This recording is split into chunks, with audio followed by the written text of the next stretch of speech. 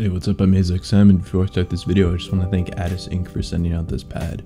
They didn't have to, but they did, so thank you, Addice Inc. Now, this is the Neon pad, a coated, pretty high friction pad that has very substantial stopping power. I've been maining the Hien for about three months now, and I've been playing with this pad for about a week and a half, so I've definitely kind of gotten red pilled into control.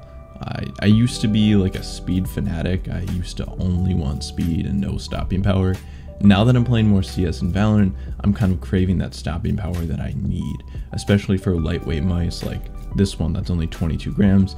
It's definitely a necessity for those games with this light of a mouse. I'm not saying that this pad doesn't have any speed though, I think it finds a perfect balance between speed and stopping power, unlike the Hien where it only provides speed and very minimal stopping power that, you know, I don't really want anymore. By no means am I saying this pad is slow. It's not like a muddy pad. It just has pretty ample stopping power. And it is like somewhat fast, but that's strictly because of the coating on it. It is coated. Uh, the coating should last you probably six to eight months. That's what I've pretty much read and assumed from Reddit.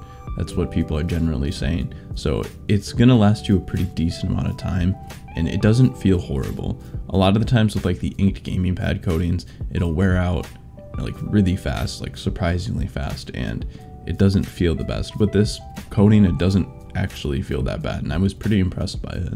The stitched edges on this pad honestly aren't even that bad. They're thicker than most pads that I'm used to, but they're not raised up, and uh, yeah, I can't feel them on my arm when I'm playing.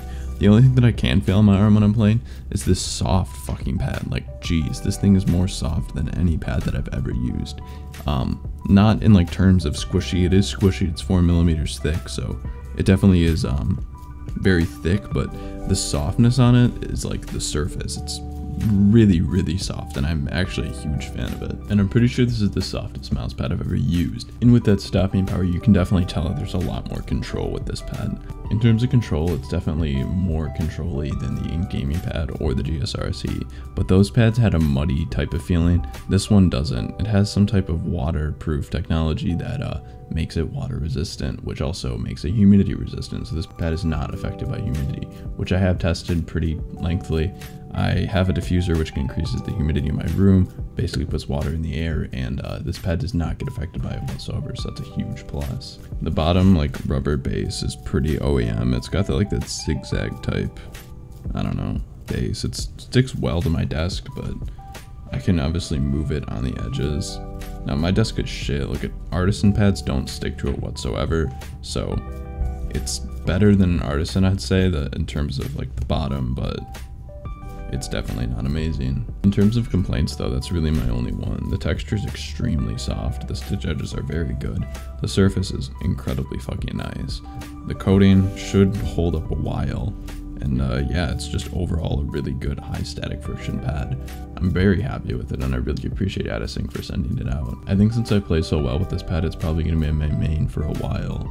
I play really well with control pads, and this pad is no exception. I play extremely well with it, especially for click timing scenarios, and uh, tracking wasn't horrible either.